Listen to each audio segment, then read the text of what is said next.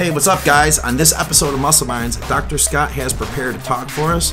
Topics are going to be high volume versus low volume training and high carb versus low carb dieting. Scott's brought some studies, he's got some charts and graphs. He'll be breaking everything down and helping us to understand it. And in the end, hopefully, you'll better understand what works better for you. It's all happening right here on Muscle Minds. Hey, what's up, guys? Welcome back to Muscle Minds with Dr. Scott Stevenson. I'm Scott McNally. This program is brought to you by TrueNutrition.com. They're a high quality supplement company that has been around since I've been into bodybuilding. And uh, you can use our code ADVICES for some additional savings on products like this. Scott, I'm doing a, um, I'm doing a test. I was using the MPA muscle intrusion. I have some of their, um, uh, what is it called? The uh, um, Perry MD, the, the Mountain Dog uh, intra workout product. But now I just bought some straight highly branched cyclic dextrin, and uh-huh. I got the uh, lemon cake flavor. Mix this Ooh, with. Is good? Yes, it sounds like it, delicious. Mix yeah. that with the EAA. I was hesitant because mm-hmm. I know that, that highly branched cyclic dextrin can be kind of rough sometimes with the wrong flavoring, mm. but it's it's the bomb, dude. Like it is yeah. so good. So uh, I'm excited. I'm excited. I want to do a price breakdown. I want to see because I add in also three grams of citrulline malate to that. I want to do a price breakdown and see what I'm mm. paying per scoop compared to buying, say, a competitor's product. But I have a feeling I'm getting a you know a decent deal on it. I know that oh, it's oh, yeah. all high quality stuff too. So uh, yeah. I, I, like that. You know. Anyway, though, man. Um, fifty percent. You probably there's got to be a fifty percent markup. I mean, you got there's just so many ways that True Nutrition is cheaper. There's they're not they don't have labels not paying for the labeling. You're not paying for all the mixing. You're not paying for the marketing. You're just True. you're getting it pretty much raw from source. So I bet you're saving substantial amount. Yeah, yeah, I'd imagine. I'm going to figure it out, and uh, and I'll let you guys know. Um, today uh, we have uh, we have a plan Dr. Scott's got uh, lined up for us. I'm really excited about this. I've got a few figures floating around here uh, on my computer that he'll have me pull up as we go. Uh, topic that we are looking at is um, is is what's better for you, right? Based off of your based off of your biology, being uh, a high or low frequency training plan, as well as a high or lower carb diet. Is that if could, am I saying that correctly in a real yeah. sense? I mean, those are just two biggies. Like I come across this stuff all the time, but these are these are some some pretty cool data. Okay. Those are the biggest questions. Like, oh, so how should I train? high volume or high frequency or wh- where should it go? Like that's a big global question, and people want a black and white answer, which there obviously is not, as is the case almost every single time, yeah. except for things like you know, should I eat arsenic before I train or that kind of thing? Probably not.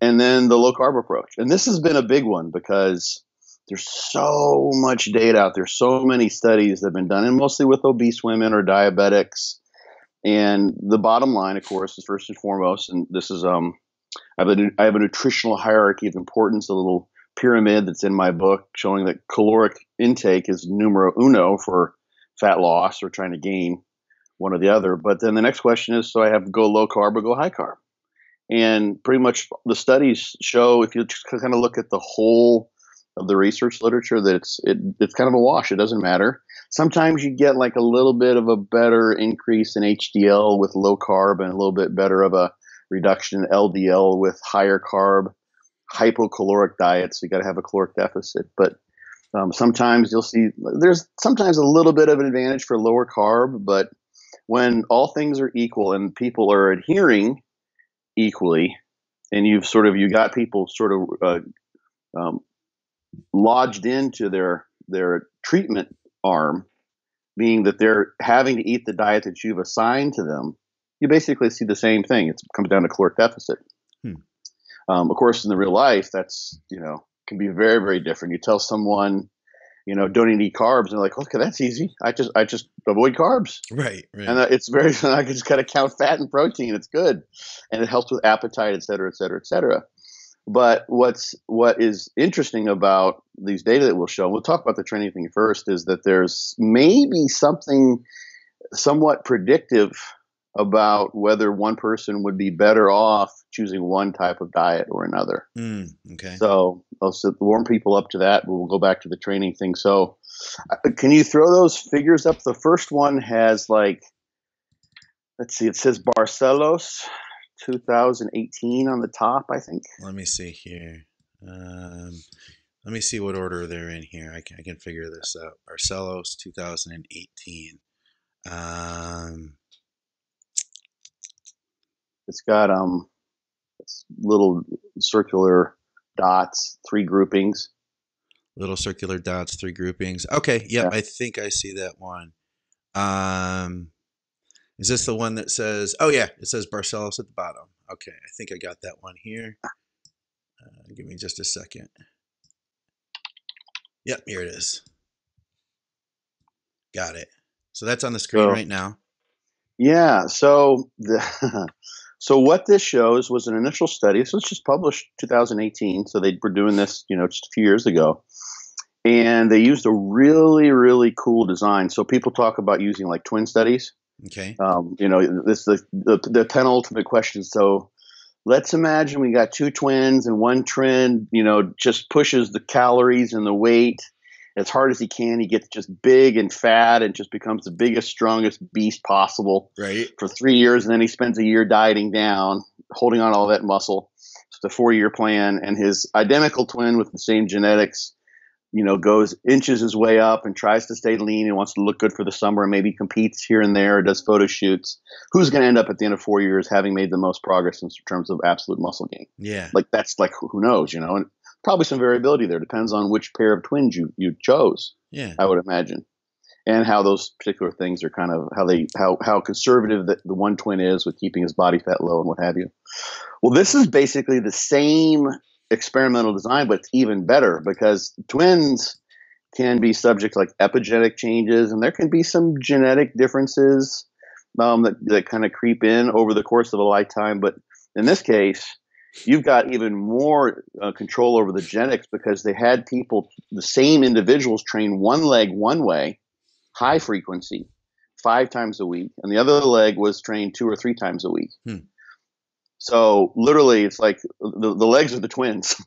so it's the same person. So you can compare how well does the leg train five times a week. I think they did three sets of like eight to twelve, just knee extensions, okay. versus two or three times a week, the same volume per workout. So the one thing I don't like about this study, but it's kind of cool to have in there as well, is that there was a difference in volume. So they didn't try to equate the volume um, that the two legs underwent.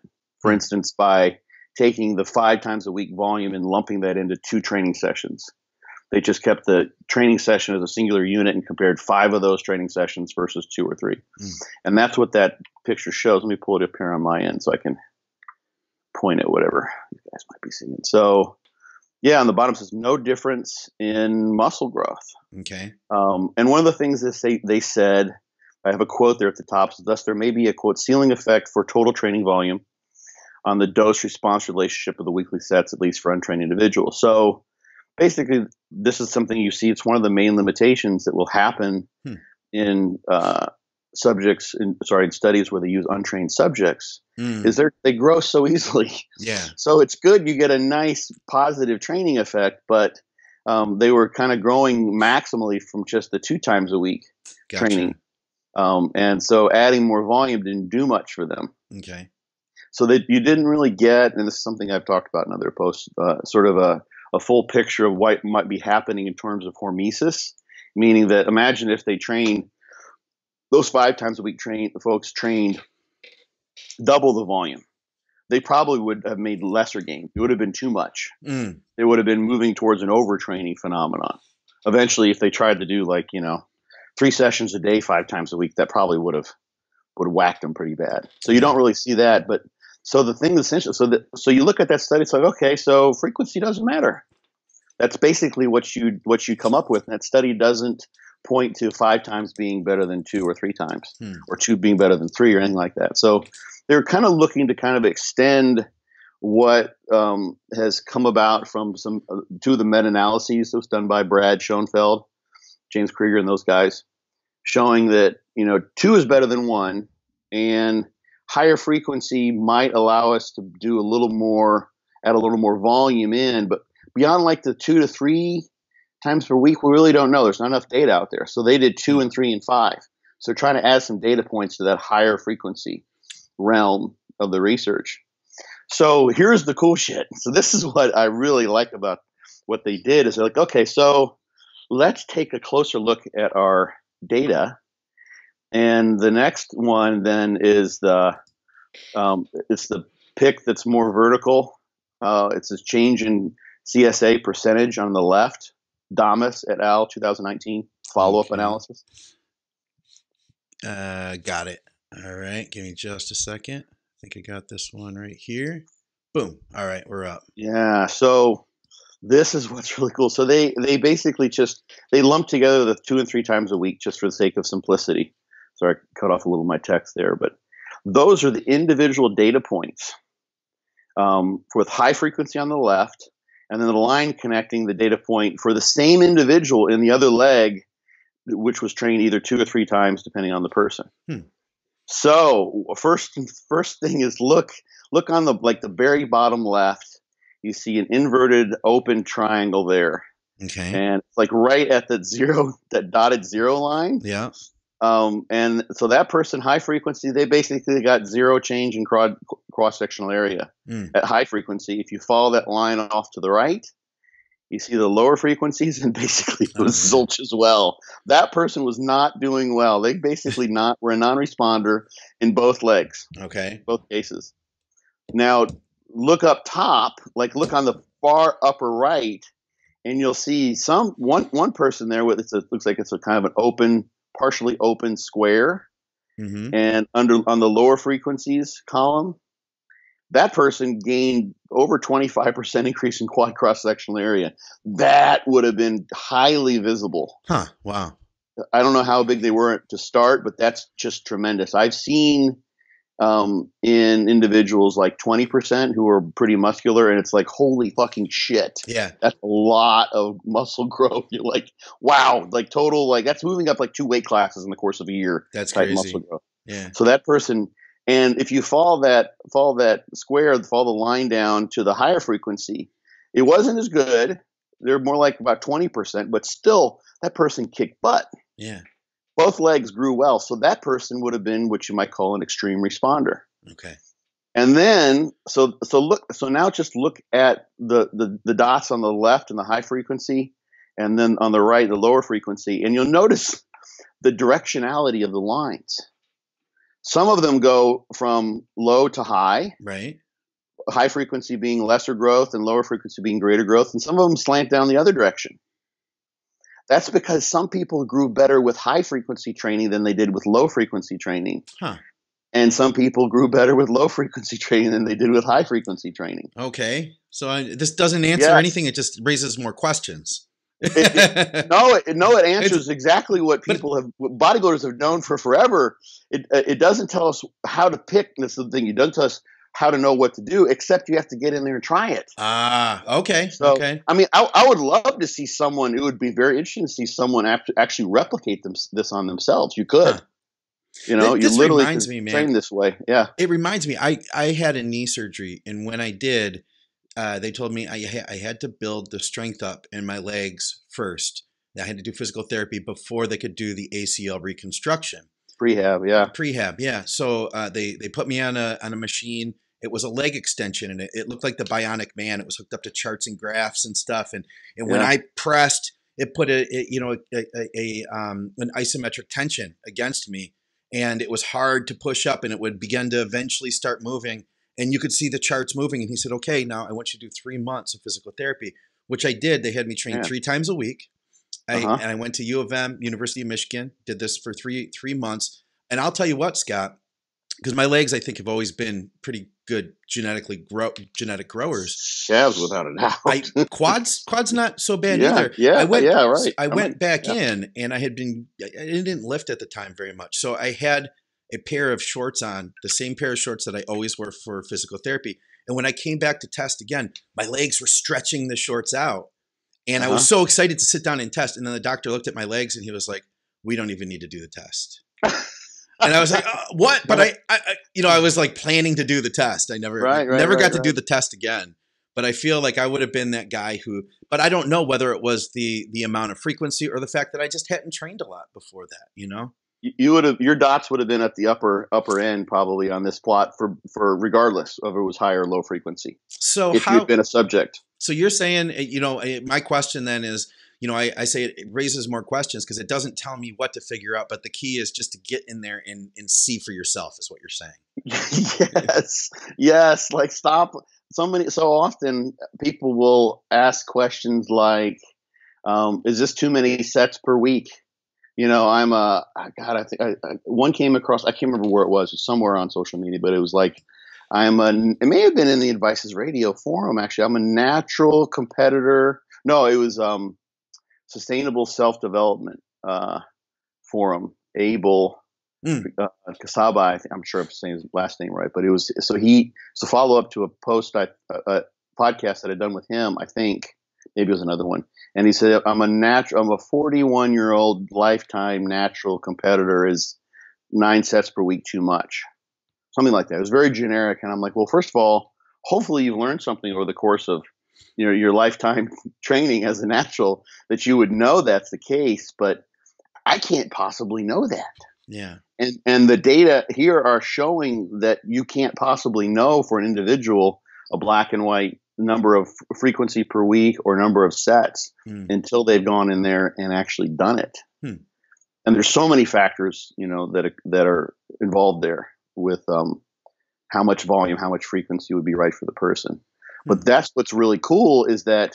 So if you look at this first study, people would say, well, you know, the scientists don't know. You know, I, I know, like someone might say, I know higher frequency works for me. I just know it does, and I don't care what the science says. Um, and that's what some studies might point out. There's no difference when it comes to frequency, but these scientists are doing really good work. And they went and dug into their data. If you dig enough into the data, you will realize that the data are from people who are living in the same time space four dimensional reality that you and I are mm-hmm. when we go into the gym and train at Gold's or you know some underground gym someplace. Yeah. And those data will, if you look deep enough into them, reflect the same things that are going on for you and me and everyone else. Hmm. Just have to look deep enough, and that's what they did. So they ran their first their their first study, and they're like, well, you know, it doesn't make a difference. There was a ceiling effect. It's a very good way to explain what was going on. But then they looked again. And they said, ah, mm. some people grow better from high volume or higher frequency. Some people grow better from lower frequency. Some people just grow better than others. Now, were so the, the was there any kind of predictors? Like, did they come up with any of that? Did, could, could, they tell no. us? No. Okay. That, that's where we want to go. That's yeah. what I want to be able to do. You know, I mean, it's sort of like part of me wants to know it just out of pure curiosity sake. It'd be really cool. Like, so I, I go in and you get your your genetic test. That's what the genetic ah. tests are, are proffering. Um, but I have not seen any data. This would be the perfect study to do that. They could literally do sort of, sort of a gene array analysis and just basically which has been done. Uh, Stu Phillips has been involved with some of those sorts of things. Do a, a proteomics or genomics type of study where they just look at everything and say, okay, what genes or what um, proteins that are expressed are predictive of someone who grows better from high hmm. versus low frequency. So you could literally go in and get a get your genetics tested, get your genome um, sequenced, and figure out if they'd done those those if they had biopsies for instance here they could actually do something like that with subject's permission and get an idea of like okay the people that grow best are the people who for instance and we've there are things we know. There's um, oh gosh there's things called myomiRs which are uh, rna sequences that that block expression of proteins from mrnas. There's the satellite cell uh, density Hmm. There's the um, IGF-1 release and release of mechanogrowth factor that stimulates better growth in individuals who are extreme responders, et cetera, et cetera. There's all sorts of kind of predictors, but no genetics, like nothing. It's all sort of after the fact. Like this is what explains who grew the best, but we can't say ah. Except I guess you could look at satellite cells. Yeah. You could do a singular bout and do those sorts of things. Um, but you still have to do a biopsy. It's not as easy as just like you know taking a saliva swab to get the DNA and saying this is the genetic profile of someone who's going to grow really well. Hmm. Um, so that's cool to know. It'd be awesome to know. I mean, you can look down the road and say, well, you know, maybe we can even sort of, um, uh, you know, engineer this into hmm. people. Hmm. Um, that takes me off. There's a whole other topic that I want to go off to on that. That was a book that I've been listening to, um, Nick Bostrom's Super Intelligence. Okay. Great listen from what I've seen and or sorry heard from for anyone who wants to get into it. He's talking about the idea of artificial intelligence and it's the, po- the threats it poses to the world. Hmm. He goes off on a little bit of a tangent at one point in time. he talks about some of the things that could be done with iterative selection of fertilized um, eggs, hmm. fertilized uh, um, gametes, where you basically sort of, and there's movies that have done this, I can't remember the name of them, but you basically would have, you would select for the genet- genes in a fertilized egg that are best predictive of high intelligence hmm. or large muscle mass or responsiveness to exercise stimuli or what have you. And you can do, you could do that with the right technology. Yeah. Such that he says, like literally in a matter of just continually selecting, basically what they do when they you breed animals. You, know, yeah. you pick the ones that are best or breed dogs or what have you. Yeah. You select. You could do that with fertilized ova. Um, and stem cells and let them continue just keep on selecting the ones that have the best DNA profile given what you know. Huh. And a matter of a couple years, he was saying you could create individuals who by the time when they're adults would would you would expect to have intelligence that supersedes the intelligence of any human who's ever walked the face of the planet. Holy shit. You can't tell me they're not yeah. trying that right now oh, somewhere. Oh, so, someone someone is, yeah. I mean? some, yeah, yeah. Oh yeah, absolutely. Yeah. So yeah as far so, as sports, we could just go old school and just like get Iris Kyle and Ronnie Coleman to hook up. Right. That's that's the old school way, you know. I mean, that, I mean that's literally what what you do. You you'd pick from the the best specimens, so to speak. Yeah. Yeah. You know, the, obviously it's just ridiculous genetics. You know, Linda, maybe take Linda and, and Ronnie yeah. and you know and, and whoever else. Maybe toss Flex in there, and then and then you you you combine those in various ways and start selecting and then allowing those cells to uh, undergo mitosis and, yeah. and they keep on doing that. Huh. So you, you, that could be done, but it was just the time frame that he put forth. I can't confirm or deny that it was accurate enough, but it's it sounded like he knew what he was talking about, and I, I suspect he did. I don't have the actual physical book. There's probably some references in there that don't come across when you listen. But anyway, so that's kind of cool stuff, and it'd be cool to know. But the but bottom line for people listening now is that is that you can figure this shit out on your own. Hmm. like, I mean, most people who are grow really well, like most people who are IFBB pros, um, they distance themselves from their peers really, really quickly. They hmm. know, um, you know, they they go in with their buddies and they start training, and they're all like, they all start off benching, and when they all get 135, that's awesome, and then. You know, the guy ends up being a good competitor, wins a state show, et cetera. He's benching two and a quarter. Right. T- two months later, and then 275 and then he gets on the sauce and he's doing 365 and his buddies are still trying to do 205 right right oh, they're not even a two and a quarter yet i always so, think of the dave henry story the you know scott we, yeah. we train the same we, yeah. we, eat the same foods i don't get it why, why don't you look like i do I know exactly. I'll never forget that one. I yeah. I can just imagine the look on your face, guy. So, guys, if you hadn't heard, Dave Henry and Scott obviously have known each other for years and years, and Scott's coached him. And and Dave turns to him one day while they're training, and he says that they're looking in the mirror at each other, you know, posing, and it's like, huh. Scott, I'm sure you were just thinking to yourself, man, I, Dave, I've been thinking that every day of my life that we trained together. well, we were both pre-contest, and it was after our training session, and after we got, we are just exhausted, you know. Yeah, yeah. So he said it, and he was just like, just this free form ad lib, you know, that just kind of mm. came out of his mouth, and it didn't even like hit me. It wasn't in any way a, a, a slight. No, no, no. Me. And I, so I didn't take it as that. I'm like, I'm like, yeah, Dave. sense. I'm hoping to at least win my weight class in my state show, and you're the reigning Mr. Olympia in the 202. right, so right. There's a little we've we had of a difference between the two of us. Yeah, yeah. But the but the same thing comes to to, to frequency here okay. for uh, individuals who are listening to this who are not sure whether or not they should try a higher frequency or lower frequency approach. They they they may be someone. I mean, if you look at the plot here. Um, there are some people for whom the line is pretty much straight across. So the change in, quad, in cross-sectional area here is is equal for the high and the low frequency hmm. legs. And then some people, there's a pretty pretty substantial um, slant in that line. Yeah. Yeah, like well, there's one person here. Here's like this, about the second greatest change in cross sectional area for the high frequency. It's up there, you know, about 22 or so. And if you look at the lower frequency, they're they're they got like a seven percent increase in quad cross sectional area.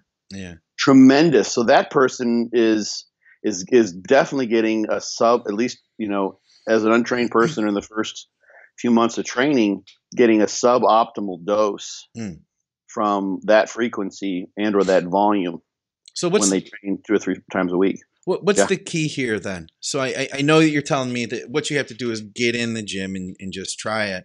I feel like the thing that holds us, there's a lot of things that hold us back. I know that for myself, one of them is that, you know, it, as in, in bodybuilding, we gravitate toward our routine and to what we're mm. comfortable with.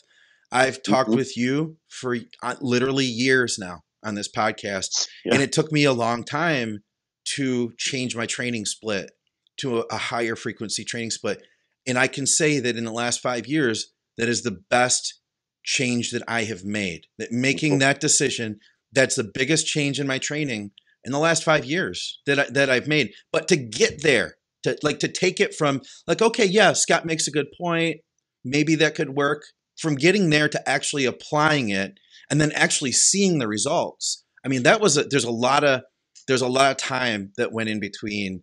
Um, what can you suggest to people here today to to to adapt to this? Like uh, like it, I mean, let's let's bring this to like the real world because there's a lot yeah. of people out there that are saying like, man, this makes awesome sense. And then guess what? They're gonna turn this podcast off. They're gonna go to the gym and they're gonna keep doing what they've always done. right. You know, this this comes down to literally uh, it's a function of adherence.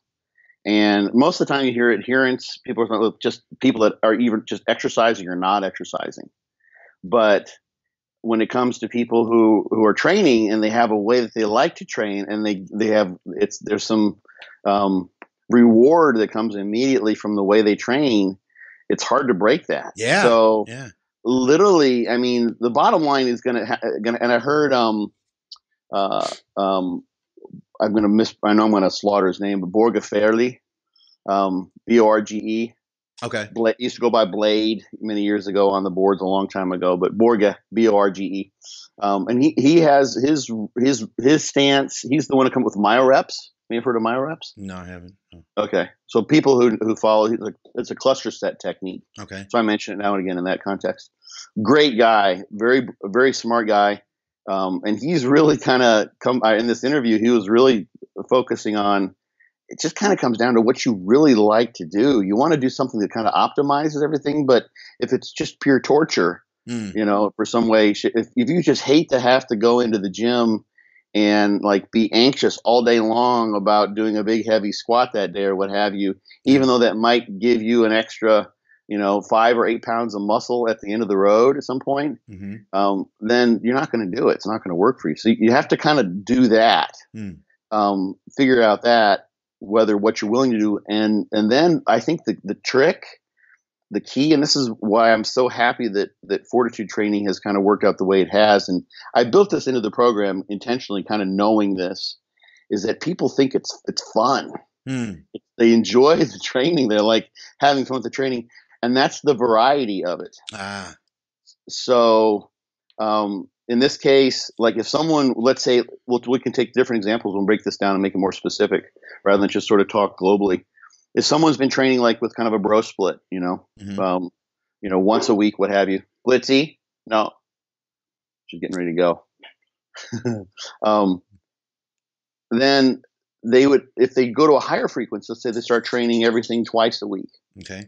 And they, and they, or they just go to a, a push pull legs or something along those lines then adding some variety and can make that more fun. Um, literally cre- adding different set types like I have in fortitude training. So we're going to do muscle rounds, or we're going to do rest pause sets, or we're going to do high reps on one day and low reps on the other day. Whatever the person likes to do, so that it's entertaining and fun, and there's a little bit of spice in the training, so that it's not like oh shit. Like you definitely wouldn't want to um, uh, make it all each training session sort of identical. maybe once a week. Like let's say you you don't like training legs, but you mm-hmm. know I'm gonna I got to get legs done, and I can I do okay training once a week. So I go and do my my squats, I do my leg press, I do my knee extension, hamstring curls, stiff legged deadlifts, blah blah blah. Like I can just get through that, and then I have like six days. I don't have to worry about it. Mm-hmm. That's kind of tolerable for someone. Mm. But if you'd have to go in and like do the that same leg routine twice mm. a week, yeah. It's like, oh my God. Like, it's like eating the same breakfast that you really are kind of like, yeah, I don't like that so much, but I'll, I can put up with it once a week all the time. I gotcha. So in shifting to a higher frequency approach, some, the variety I think is, is actually absolutely paramount. Um, so I like to have progressive overload. So somewhat, and, and obviously that's what you've been, you've been doing now um, and posting about on Instagram, which is really cool with like the incline dumbbell presses. Yeah, yeah, it's it's been fun too, man. It's a it's a fun yeah. challenge. I'm gonna tell you, Scott. This last time that I went in, I was a little scared because I, I you know I I got from the I started with like the 90s, 95s, and I worked my way up, and then I got up to the 110s, and then I felt like okay, this is really heavy, and I know mm. that I mm. could spend time with these now. And now I'm not gonna increase the weight but I'm going to increase increase the quality of the reps and then increase the reps from there. So I still feel yes. like that's progressive, you know. Absolutely.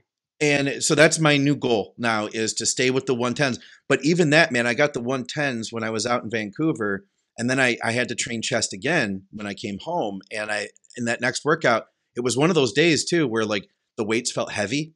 Like I picked up the mm-hmm. 55s and I'm like, ugh, uh, feels like this, a 65. Exactly, exactly, or a yeah. 70. And I'm like, man, right. I don't. And there's part of me in my head is going like, I don't know if you can do this, Scott. I don't know if you can do this today. But I'm thinking like I got to do. But I got it up, and I managed to get one more rep out, and I feel that my form was a little bit better than it, it had been before. But I'm gonna tell you, man, that was it was kind of a scary set, and it's the first time I'd really been scared in a while. Like, like yeah. I really questioned, like, am I gonna be able to get this today? And I, right. I, I liked that too. I'm not gonna lie, yeah. man. I like yeah. that challenge. You know. Yeah. So, so, and one thing you can do in that regard, and then I, I built this into the, my program too. It's easy just to refer back to that. Is that I have different volume tiers that one would auto regulate on a particular day. So, let's say you know you're you typically you do two heavy compound chest exercises and two isolation for the volume tier you typically do. You're like, fuck, I don't know if I can. I can do one, but I don't, that second one, I'm just not feeling that shit today. So you can still get high quality training stimulus from dropping down a volume to and doing less. So you just do the one all out set mm-hmm. and make it make that it. And that is a it's that's bite size. It's tolerable. Gotcha. Like if you had came in come in the next time you train chest feeling that way that you did that day where you're a little bit scared and just it was always like that eventually you, that would peter out you yeah. that's not sustainable yeah that's what uh, i was thinking but, too yeah, but if you have the options, like okay, today's a, a little bit off. You know, maybe it, maybe it's just a deload would be an option, but I'm going to drop down and instead. Um, you're just doing the one set, but let's say you had two sets, you could just drop down to one set, or you could change things, yeah. or maybe it's just every other day. Um, you know, you might say, you know, have an option like today is going to be a day when I increase the reps and I choose different types of exercises. Yeah, yeah, that makes whatever the sort of system is. Yeah, so to, to, keep it to keep it fun and and to not not be perpetually scared, I guess. And and I guess you know what it is for me, Scott, is that I found that I, I see the I see that this could be like to me. I guess the most important thing is is that I make progress, and so mm. because of that, I like the idea but I guess it took wrapping my head around that about like, well, this is the best way for me to make progress now. And I truly believe that in my heart. And so for me, it's a it's a training plan that works. So I guess I guess you know maybe like you said fundamentally people might not like the idea, but like you you know I think of like um I think about remember we were talking before about uh, how Jordan Peters and Sasan were great training partners for a while, but then Sasan got really burnt out with it, and he said mm-hmm. he, he began to like really feel uncomfortable and he loathed the training and he was unhappy. Right. But Sasan could really grow pretty damn well without training that way too though. I mean he grew yeah. well doing it, but he grew well obviously before he did that, you know. He was already a fantastic bodybuilder and he could probably continue to be a fantastic bodybuilder without it. A guy like me, who's probably like more like 95% of the people who are watching this, I don't have any other fucking options at this point. right. you know what I mean? Right, right, yes. It's like I'm gonna have to do something, you know. And it's like you were talking about on uh, the Mind Pump episode. Um, you know, you mm. said that there's back in you know back in the day in the say the 90s or the 2000s, everybody was doing the bro split, five, you know, one time a week. And for for the the genetically superior, it seemed to work really well. But mm-hmm. for other guys, they might not have gotten you said like you know the same hormonal response just training once a week and so it's almost like i feel like going to this multiple times a week system for me at least it's like it's like i'm hacking that maybe sasan doesn't need to yeah. hack that hack muscle yeah. growth but i need to hack muscle growth to get that response high enough you know on a regular basis to to grow. At least that's my guess. That's my theory. Yeah. You know, well, it was growth factors, not hormones. That's a whole other thing. Is it growth, okay? So I yeah, used the wrong term. Factors. Okay. Yeah, yeah, it's okay because people are like, "Oh, he subscribes to the hormone hypothesis," and I, and I don't. Like that's been disproved, but it's literally it's the growth factors, which are, like MGF, MGF, for instance. Yeah, those yeah. So, he, but the thing, it's awesome that you bring up Sasan because yeah, he was. I mean, he was a phenomenal bodybuilder, training the way he had, kind of like in, instinctively, just kind of going to town and actually we when James came on the it's just bodybuilding and talked about how he, James Hollingshead yeah. and talked about how he had been training he was just like didn't know what the fuck he was doing you know? He was just going but he but he ended up getting his pro card I think or at least winning his class at the Brits doing that. So but Sasan then training you know all out in a way that uh, he was making progress I think above and beyond what he had previously in training with with Jordan. Absolutely, he was really growing. So he was he, he did have a, a, better training stimulus, but it wasn't better in that he, he could sustain it. And this is the same situation that someone without Sasan's genetic um, gifts might be in, where they they recognize that maybe higher frequency training or more progressive overload training might be better for them but it's the amount to which they can add that in and and and still enjoy what they're doing mm, yeah. and still continue to do that. So you you're like i realize i have to do this in order to grow because of my genetics aren't aren't great. And and so you're like you're intrinsically motivated internally motivated to go after that. Yeah. You want to make that happen. And some people might might be quite as convinced you right. which i there was a time so, i wasn't. Right. You know yeah, and it took you a long time to do that. So, right. like the intermediate step would be like, well, let me try this out. Because mm-hmm. there's various ways you could do it. I, I could say I'm going to just give myself six months and just you know totally switch to something else, and yeah. hopefully not just follow it blindly. Or I can incorporate this to some degree, and, and people do this all the time with fortitude training. They'll add one of the training techniques or some aspect of it into their program. They don't completely, you know, um, jump ship from what they have found has been working, but they add something that makes sense to them. Okay. In the amount that works for them. So that they're comfortable with. When you exactly. say that works for them, that they're comfortable with. Yeah. Yeah. Yeah. That, that, that, well, it works for them hopefully over the long haul in terms of muscle growth, but that is, is, is uh, sustainable. Yeah. They'll keep doing it and not be like, ah, fuck this, you know, and, and not want to do it. So they just go, if you go too far in, it just doesn't match your personality. And some people just don't want to train like in HIT, DC training, Yates, Jordan, fortitude training style, where you're just pushing a large majority of your sets to a, at least a failure point or very, very close. Some people want to just train with higher volume, you know, and leave more reps in the tank. Yeah. So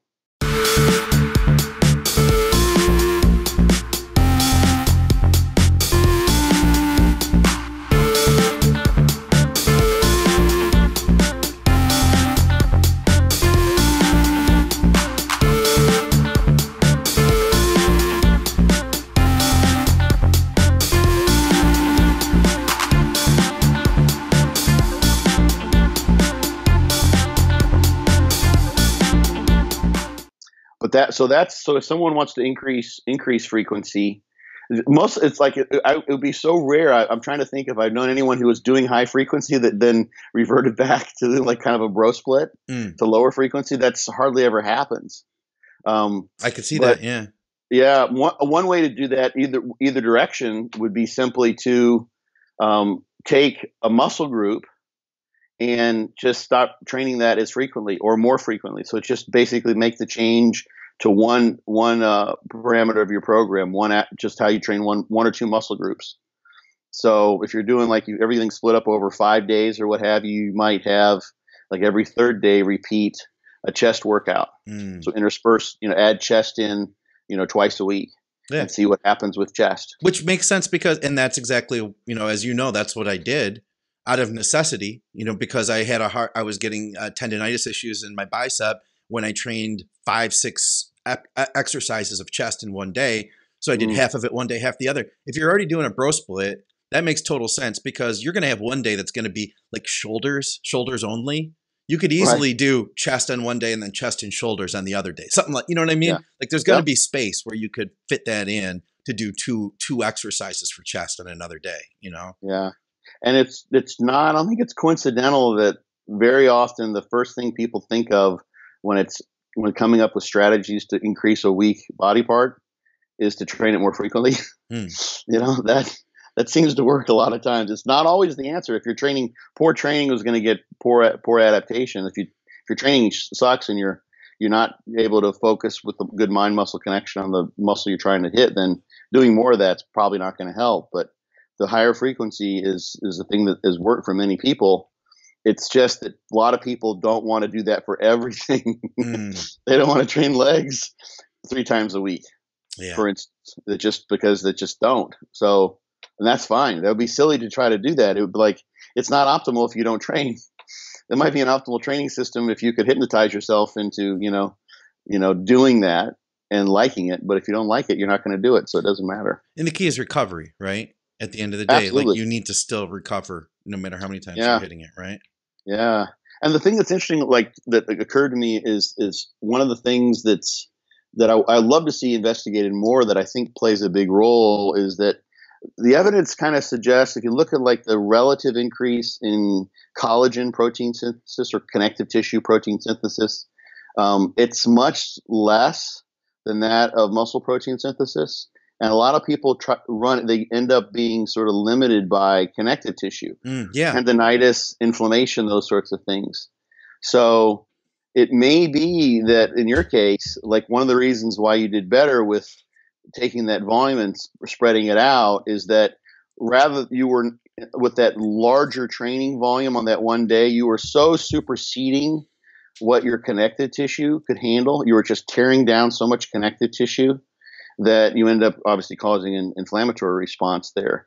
But you, but your your connective tissue was able to kind of keep up with the pace of training by doing less more frequently and that that in and of itself even even if there was nothing about the higher frequency um, per se that but just allowed you to train with let's say a total of 20 sets 10 on one day 10 on another day without getting tendonitis yeah. if you can do that for a year it's much better than doing 20 sets on one day when you get tendonitis and have to like stop training two months every six months out of the year absolutely so, yeah so yeah so just just picking the right training approach that allows you to continue to train can be, make sense psychologically, but also makes it make sense physiologically too. Like when it comes to connective tissue.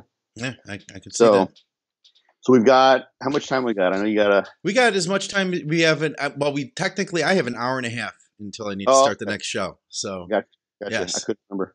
So the other topic is the low versus high carb. All right and this one has a little there's a little bit more that and this is i'm going to speculate some on this but it's very i mentioned this in my be your own bodybuilding coach book because i was aware of some of these data at that time but um very very cool stuff so we got another figure i think we can pull up the, this one will be um it says lowest carb on the left upper left lowest carb this is a to z study in the upper left corner individual data got it yeah so guy by the name of Gardner has done a good bit of this research, and he's got a um, the, the title of the the, the uh, paper that he wrote is "Tailoring Dietary Approaches for Weight Loss," published in 2013. So there was a study in 2007 called the A to Z study, and that's what you see depicted here. In this case, the individual data. So what they initially did was they had number of subjects. Gosh, you can see by if you just counted the bars in each of those the number of subjects that uh, that followed each of these different uh, dietary approaches. Atkins, Zone, I guess that's why they come with A to Z. Um, uh, the Learn diet and the Ornish diet. Okay. So the Learn, Learn diet is sort of more of a um, a higher carb type of diet. The Ornish diet was like lots of fruits and vegetables. The Zone diet is Barry Sears, you know, kind of splitting things into thirds. And Atkins was a keto diet. Okay. So when they ran the comparisons on the weight loss in these obese individuals that carried out this study. I think it was women. Um, basically, it was pretty much the same. Uh, there was a little bit of an advantage for Atkins, actually, in the case of this study. And, and I'm not going to make much of that because that doesn't pan out in a lot of the studies. You just really, if you look at the, the data as a whole, you don't see low carb winning out over higher carb, generally speaking. Sometimes you do, sometimes you don't. Sometimes it's the other way around, um, which which doesn't surprise me actually. But it's interesting. You actually can see if you look at those data, um, like look at the uppermost set of bars there next to the Atkins and you can see the um, uh, the kilograms of lost. So at the bo- at the leftmost, you've got the same thing. That leftmost bar is nearly 30 kilos lost hmm. wow. by this individual. And if you look at the right, there's some people that actually gained huh. it's like seven or eight kilos huh. on the diet. Yeah. So, gosh, somebody really got screwed on that zone diet. They look like they gained a lot. That one yeah, one person at like, the far end. Right, like that. Per- that was not a good choice for that person. no, no. But it looks like for the most part, a- a- the majority of people made progress on all the diets. Yeah, that they did, and, and that was what happened. But it was only like we're talking like three or five kilos on average. Okay, yeah. You don't see like this, you know, like less than ten pounds, but you see tremendous variability. So the same mm, thing we've seen in the in the other study, which I've seen, I've mentioned time and time again. You see it all over the place, mm-hmm. um, and you can kind of see if you look at the Atkins there, like at the, the point of zero, um, no weight gain or weight loss is kind of further to the right. Mm-hmm. More people are on the you have more bars on the left. There's a kind of a greater area if you add up all the area of those bars yeah. on the left for weight loss, and that kind of that that makes you want to predict that what they actually found was that Atkins was a little bit superior, but no big deal there. So Gardner went back and looked at several studies. Um, there are three studies that he reviews in that paper, and then he looked and reanalyzed the A to Z study. And when he looked at all those data, you see an interesting thing kind of uh, um, uh, kind of crop its head, and and it's. I'm not going to say that this people are going to say, "Oh, this is supportive of the insulin hypothesis." I've never heard anyone actually say that. I'm surprised it's never come up because this is you know this is a uh, is, is an anchor point for which people could could anchor their belief that insulin levels is are what's most important for um, fat loss because insulin promotes lipogenesis inhibits lipolysis. So like people who are big on low carb keto will say like it's all a matter of insulin blah blah blah. And I, I don't think that's the it's just too much the, system is just too complex to anchor it all onto one hormone. But interestingly enough, when he anal- when he looked those three studies that are mentioned in that uh, in the paper, when he analyzed the A to Z study again, comparing the Atkins with the Ornish, so he took the lowest carb keto, and the Ornish was a pretty high carb approach, and they made various measures of insulin sensitivity in those studies. So they try to measure everything they can to see if there's anything that's predictive. It turns out that for individuals who, at the beginning of the of the weight loss, the fat loss period, are the least insulin sensitive, they tend to do best over time with what you consider an insulin sensitizing diet, a low carb diet. Hmm. So if you're insulin insensitive, the best way to improve insulin sensitivity is to remove insulin or remove carbohydrate. Right. That makes sense. And, and, as it turns out, that ends up being from those three studies and the A to Z reanalysis. What happens is that the people with who are insulin insensitive do lose the most fat when they go with a low carb approach, and the opposite is also true to a certain degree as well. So, if someone already has decent insulin sensitivity, a high carb approach works well for them. Hmm. Maybe maybe even better than a low carb approach. Okay. So that's that like that's really pretty pretty freaking bad. That basically, if you just take that as like a black and white as a as a guideline, um, that tells you that if someone comes to you really out of shape, or if someone has a family proclivity for diabetes, or they have a lot of body fat, they're going to have poor insulin sensitivity. And you can measure insulin sensitivity, or you can get an estimate of it if you basically take blood glucose and they multiply that by resting um, fasted insulin levels, and it's an HOMA, homeostatic method of analysis of insulin sensitivity. That can be done easily with um, you know, regular blood work. Um, that will tell you whether someone might do better with a low carb approach hmm. versus a high carb approach. Yeah, that makes sense.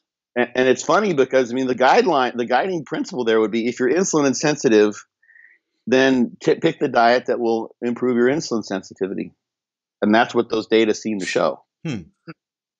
Um, Which also un- would would show that you could probably sh- your diet strategy may change depending where you're at, right? Because you could take a guy, yes. you could take a guy who was very insulin resistant and get him insulin sensitive, and then he's going to need something different.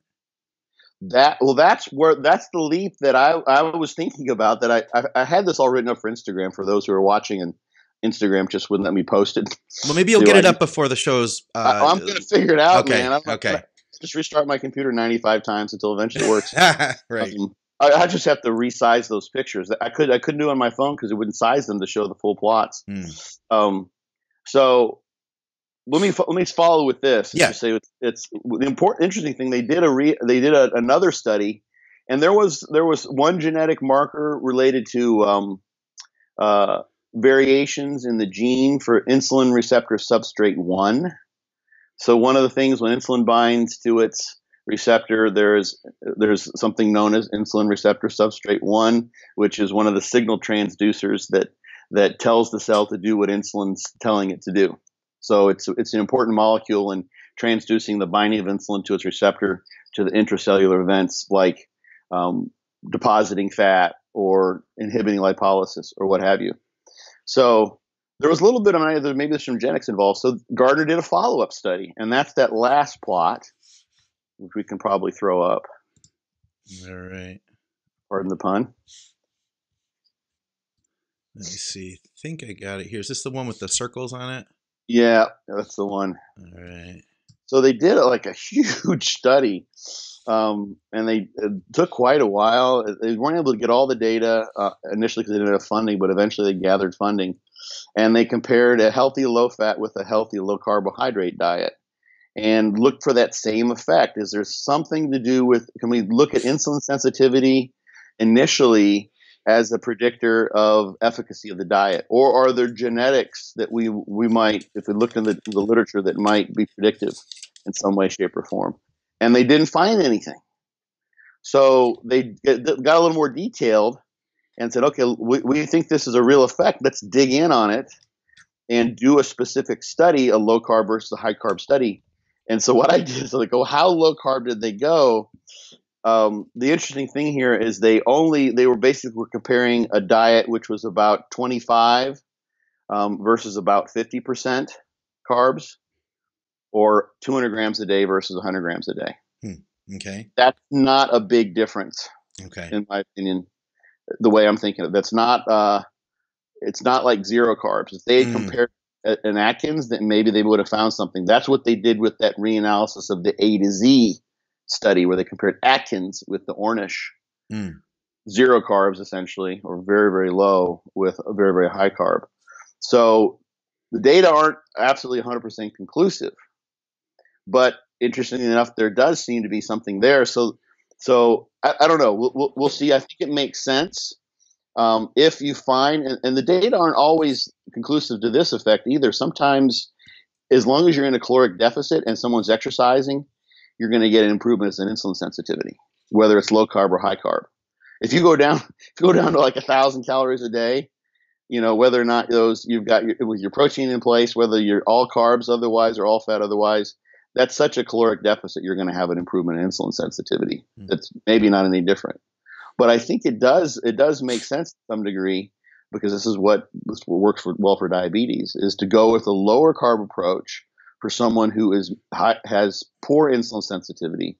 That would be the person who they know this from they did a HOMA test, insulin measured fasted insulin and fasted blood glucose, or they've got lots of body fat, or they got a family history of diabetes or what have you, and then apply, uh, a try lower carb approach and that might be physiologically because remember these studies were pick the diet you think you like the best mm. which is what people do in real life yeah you know they pick the diet that's been marketed to them the best, right? Or they pick the diet that their buddy's doing, or you know, my friend said, "All you got to I just eat peanut butter crackers all day long, and I'm going to lose weight better than anything." And she looks awesome, so I'm going to do what she did. Yeah, yeah. Her whole face and her her skin is orange now from the peanut butter crackers, but you know, she looks great otherwise. I heard about this diet called the TED diet. that was awesome. long, long time ago, guys. You'd have to. Yes. We should. We should. We should re-bring that one up though. sometime. Yeah. Didn't yeah. work. He never. Ted never lost fat, huh? Ted did not. I don't think he stuck to it for very long. I don't think he did it for for all that. Okay. It was only a matter of a few weeks, but God, it was fun to watch him. oh man, well, I think it was ten minutes. Well, let's talk about that. Well, fuck it. We'll just go into it. So this guy Ted, who was the boyfriend of one of our babysitters. Yes. Like, yeah, we get the Ted go story. The Ted diet. So yeah, Ted.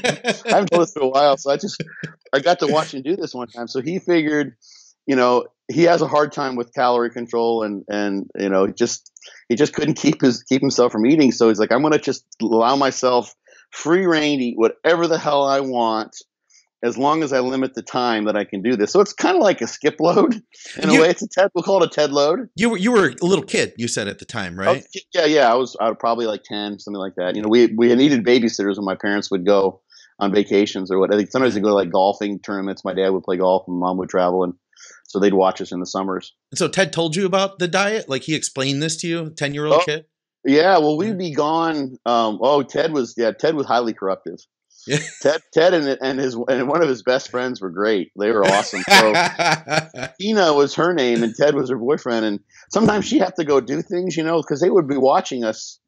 Sometimes it'd be like a, a, whole week. Yeah. There was this one golf tournament that lasted the whole week. So so Ted, we get passed off to Ted now and again, and he'd take us over to his. I think it was his dad's place. This is where I remember this happening. Was his dad's dad had a ranch, lived out in the country, and um, uh, he would have gone shopping and he stocked everything up. So basically, he would Ted would would set out before him all the foods that he's been craving and allow himself a 10 minute period to eat whatever the hell he wanted. Naturally. Yeah. And, yeah. And usually it was like, it was ice cream. And, and I just remember like just bowing down ice cream and him getting like the brain freeze from trying to eat the you know the chocolate caramel ice cream too fast you know and then he tried to like mix in some other junk food cookies and shit you know and it was just like this really what i would probably think is pretty pitiful you know food fest for 10 minutes and it, it did not work for him but yeah.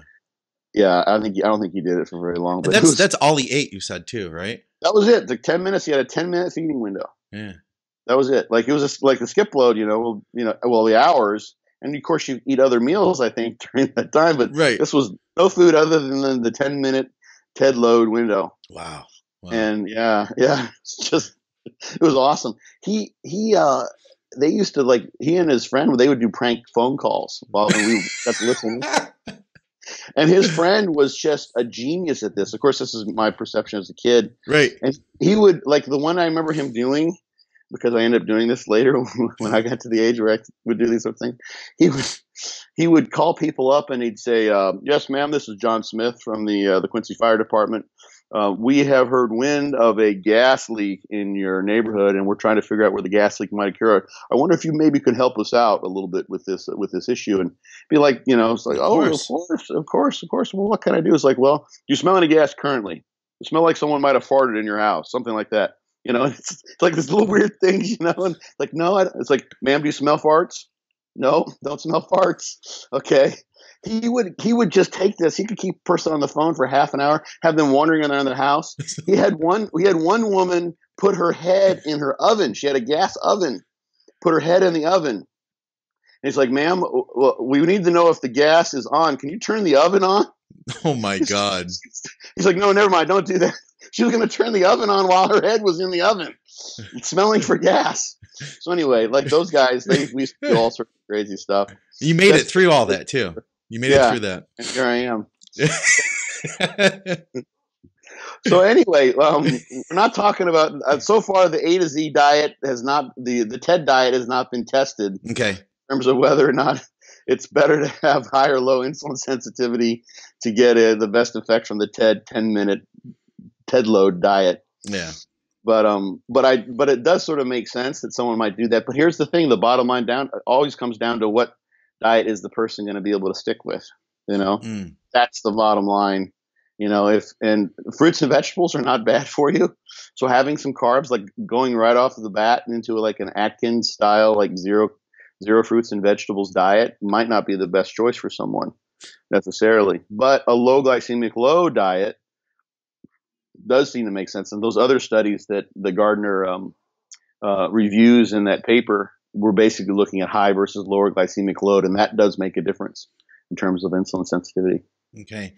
So just so, look, looking at this compared to now when you said training, you just have to get in there and try it to see what's best for you. Here we mm-hmm. do have some predictors. You said insulin sensitivity would be a predictor as to what type of diet may work yeah. better for you. Are there any other predictors that this shows or that you could think of that we haven't talked about here? Anything else that we could say, hey, this would be another factor? Well, the things that are associated with poor insulin sensitivity. Okay. So you measure that with blood work or just having high body fat. And exactly what you said, like that was a that that insight was the one that I had is that here's the thing, and this is what I'll, I'll post once I get the Instagram post up, is that when someone starts off their diet, and, and there's there's kind of two ways to look at this. One, if you've been if you're a, a bodybuilder who's been pushing, pushing, pushing, um, you don't have to do much in order to reverse and start losing body fat.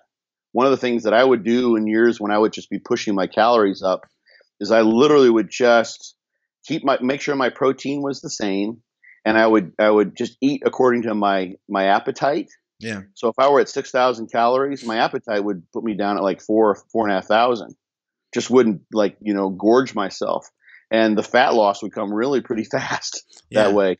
I would actually feel better. Probably my NEAT would go up because I'm not feeling like you know I, am I'm, I'm just constantly bloated all day long. Right. So I'm more active and have a greater expenditure relative to my intake. Um, but if someone is, is not sure what to do and they've been they're, you're kind of trapped with higher body fat, say it's a new client for someone, for instance, who's a trainer, um, it, the thought that if, if someone has a lot of body fat, it might make sense to at least diet them to the point where you get their insulin sensitivity under control. So you can measure that with blood work potentially, or simply body fat. Hmm. So bring them down to lower levels of body fat. And here's what I think is potentially something that's worth worth checking into for a certain subset of people is it seems like if you have higher insulin sensitivity, you might actually do better with more carbs. Hmm. Course, you have to have a caloric deficit in place, otherwise, the diet's not going to work. So, someone might start off a diet simply by reducing the carbohydrate to increase insulin sensitivity. You don't have to go right to an Atkins. Go too fast, and you'll just drop you'll drop weight too fast. You don't want to do that necessarily, especially if you've just gotten some new muscle. And then for those people who don't do really well with low carb diets when they're getting down to like the six week, eight week, four week, two week out thing, they actually this this information suggests that some of those folks might be okay with more carbs. Hmm.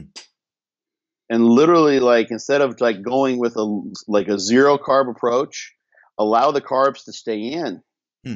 keep the caloric deficit. That's going to help with replenishing glycogen potentially, help with training, um, so it's possible that you can do better even when you're insulin sensitized and you're and you're dieted down with a higher relative carb approach. I could see that. But that's that's what this kind of says is that literally you'd start with get insulin sensitivity under control, and then as you get more and leaner and leaner and leaner, you could actually start increasing your carb intake, um, relatively speaking, or at least don't cut it down too far. Hmm. One of the things that I found, maybe you found this with clients too, is that is that like the 100 grams a day range is like a no man's land. Hmm. And you're like, you feel like you can kind of go in and out of, of ketosis.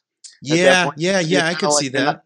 You're not, you're you're kind of you're starting to adapt to low carb, but you're not quite there. So some people just say fuck it, and they just drop the carbs down, except for trace carbs from like nuts and some veggies and that kind of thing, and they do better. Hmm. They feel better, as opposed to like the 100, 150 grams where they're just kind of like, they still have a carb cravings. They're probably getting a little, little bit of ghrelin release. And it's just like there's a point where it's like you got to like pick a side, so to speak.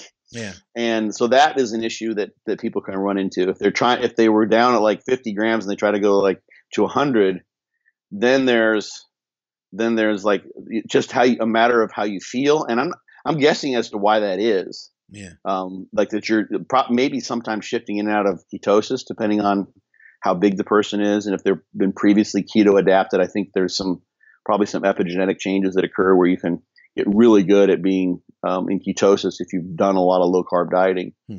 Um, so they have to, you know, figure out. And there's also like, so now I'm at 100 grams of carbs a day, so I get some good carbs now and again. And it's kind of like, like here's the carrot. You can just have a little bitty bit of it, but not the whole thing. Mm. It's like, no, I don't even want to fucking see the carrot. Get the carrot out of my face. I yeah. don't want a dangling carrot of carbs. Yeah. Just no carbs. I want to enjoy like, you know, all my my meats and my cheeses and my sauces and my fatty sources and I'll have carbs, you know, when I do a carb on the weekend or what have you. So that no man's land place can is not always a good one. Yeah, I could see that. Uh, yeah. So, but anyway, but it's a new set of guidelines for some people who you know, maybe would do better with more carbs. Mm-hmm. They might be able to do really, really well and still drop fat and and not feel like God, I'm just I'm I'm just I feel like shit without the carbs when I'm this dieted down. More carbs might help them.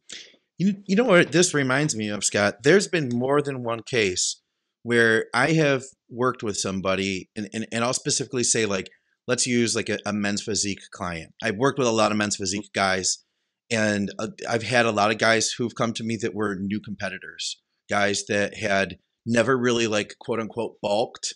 They had uh, you know just been staying in like decent shape and and growing along the way. And then they say, "Hey, I want to do a show."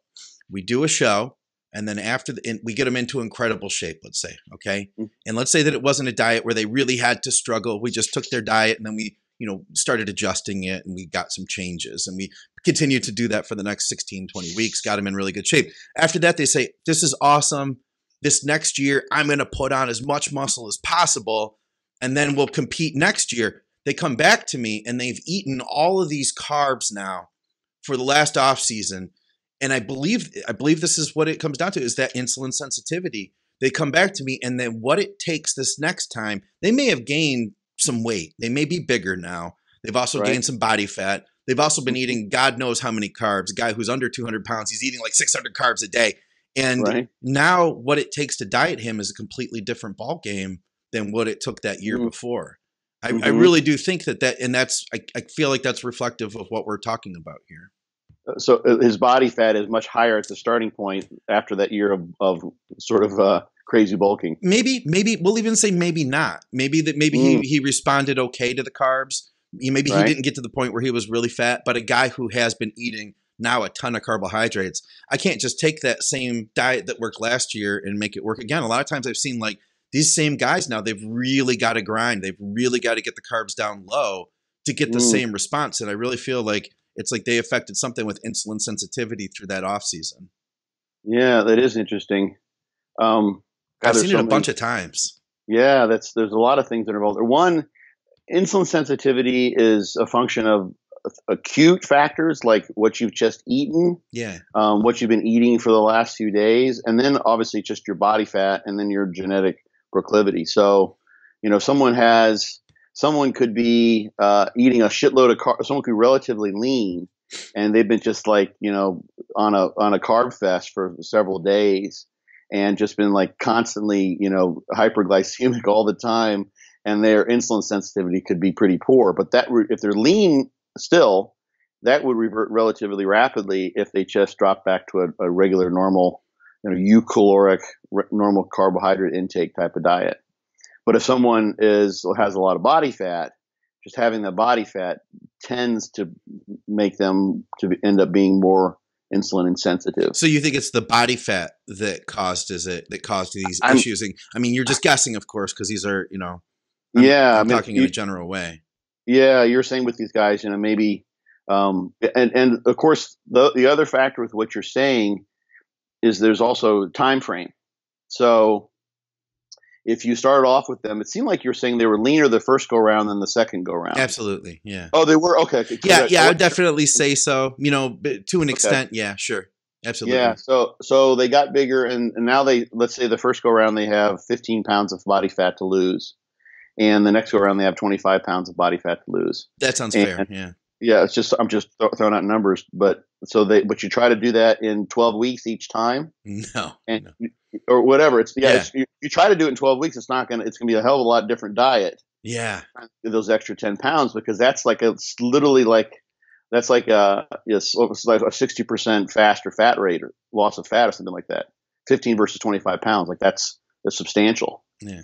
So that's you're gonna have to create a totally different caloric deficit and you may have to like go to different extremes to make that happen. So yeah, this like this idea of like starting off with low carb, get the insulin sensitivity, and then consider adding carbs back in if you feel better with that would be, you know, when someone doesn't have to just like put the pedal to the metal to drop fat as as fast as possible. Mm, yeah. So, um, anyway, yeah, that's a that's an interesting insight with those guys.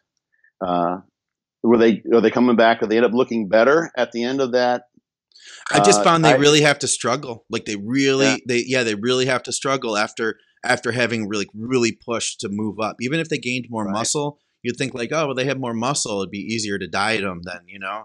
But it just I've seen it happen more often than not. You know that that it's like it's a real huh. struggle then after like a real heavy long bulk to to get them in shape to get them to to respond to food like you know just as to, mm. to be as responsive just in general if that makes sense if mm. that's yeah. if that's a if that's a word that makes sense like responsiveness to changes yeah you, you have to induce a greater a, a greater changes in the diet to get the fat to come off exactly yeah that's and, what i'm yeah. saying it, it, sounds like it maybe just more fat to lose, so you have to do that in order could, to get, yeah, get the fat loss. Maybe that's a, it's just kind of one of the things. Side story, something that just kind of came up. Yeah, thinking about the topic but but but but back to this idea like eventually you know they've got that one one the insulin receptor substrate gene which was indicated in, in the in the a to z reanalysis the follow-up study by gardner didn't show anything but i don't think comparing 25 versus 50% of calories from carbs is that big of a difference hmm. like that that's if you really want to expose any difference in uh, the effect of insulin sensitivity on whether a low carb or a high carb diet works, you really want to have a, a, high carb, a really high carb diet and a really low carb diet, like a keto diet versus the highest one. I'm not, I'm not sure why um, they didn't just repeat like the Ornish mm. compared to Ornish and Atkins because they already found that to be the case. I have to go and look. Maybe that's covered someplace that I missed in the in the study, but this gives us some guidelines. So eventually, you know, if they if they are able to replicate those data and find that insulin sensitivity is a predictor of which diet's going to work best for you, um, then you could come up with some genetic predictors. Hmm. You know, we ran your we ran your genotype, Mrs. Smith, and it seems like you're going to do best with a, a, a ketogenic diet. Yeah. Or, or you'd be fine with a zone type diet. That'd be no problem for you um, or you know we'll put you on a Pritikin diet or, or what have you, any of the various options. So anyway, this is I, I thought this was some pretty cool data to um, uh, expose the fact that if if people do go like you if you just look at the averages, and this is what happens all the time with the low and the high carb dietary um, discussions is like they're the same, and that's that is true on average, but there's some variability in that the, the, the plots from the Atkins all the way down to the Ornish with the, with the range of like negative 30, like to that poor sucker who gained like 10 kilos on the zone diet. That's tremendous. That's what matters to the people. That's the applicability of science. That's for scientists. It's like it's just cool to be awash in a sea of statistics and nuances and ideas and intellectual flavor of the area that you study. It's like, oh, this is just cool. I like to tinker around some people like to go in into their garage and like to tinker around with their car and and futz around with this, that, and the other. And but for other people, they just want to know what what car is going to get me the best gas mileage and allow me to haul the things I need to haul or get the kids to school or you know what have you. Sure. And and so digging in on the data in this way, in the way that Gardner did and followed up on, and the way that Damas et al. and Barcelos, those guys have done, is awesome. That to, to me is not only better science, but it's more applicable science because mm-hmm. they've actually gone and seen that, you know, we're not all the same. There is no average subject. Literally, there's no average person. You might have a number that matches the mean from some particular study in terms of some variable, but that would probably be the only one that matches. everyone's different in terms of their responses and adaptations to a given stimulus. Hmm. So what matters to you is what works for you. And the science can actually give us an idea, at least to know that, well, high frequency works better for some people hmm. and does works better for other people. Uh, lower frequency works better for other people. Some people just grow well, some people don't. Low carb works better for some people. Maybe if those who are who are the who have the highest body fat or the least insulin sensitive are going to do do best in that regard. Hmm. Maybe not, but they're getting there. And so, you know, if you don't, don't I think it's a bastardization of the science sometimes to always to, to, to not look at the individual data. We don't do that very often. It's unfortunate. I heard on another podcast um, what's starting to happen more and more, which is really, really cool. And it's sort of funny because it's, it's tradition has locked us into not doing this, but we have you can put it, how much data is on the internet. It's like the data explosion is just ridiculous. All literally every single data set from every study that gets published now could be made public hmm. easily. Not a, you could just put it in the statistics file. We have PDFs for standardizing text files. You could do a standardized, like do an Excel spreadsheet or what have you, some standardized way to um, add data, and then people can go back and do reanalyses. Hmm. And that's what these guys have done with their own data.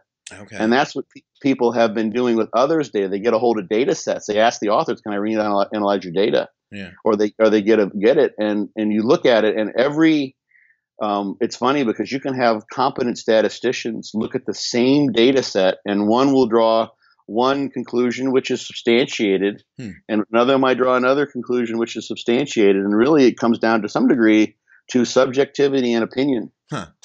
You know, and so you uh, someone could say, look at the Barcelo study. There was no difference. Frequency didn't matter. We we studied all these people two two three five times a week doesn't make a damn bit of difference. I'm like, well, it doesn't matter from when you ran the statistics that way, but I tell you what, it mattered for this guy. Mm. Look at this guy that gained 20% on the high frequency and only 5 7% on the low frequency. Yeah.